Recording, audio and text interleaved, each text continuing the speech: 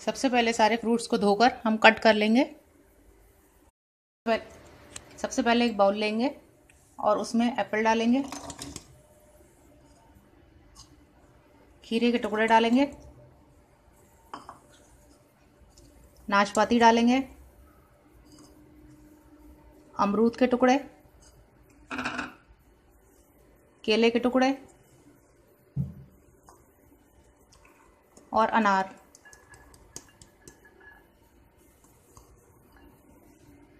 साथ ही इसमें मसाले मिलाएँगे। सबसे पहले सेंधा नमक।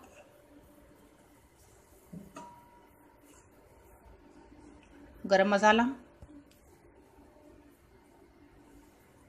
काला नमक। एक छोटी हरी मिर्च बारीक कटी हुई। एक पिंच जीरे का पाउडर। तीन चम्मच चीनी और आधा नींबू।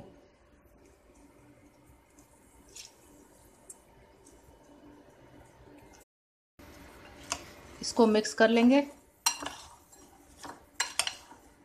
और 15 मिनट के लिए इसको सेट होने के लिए रख देंगे, उसके बाद सर्व करेंगे।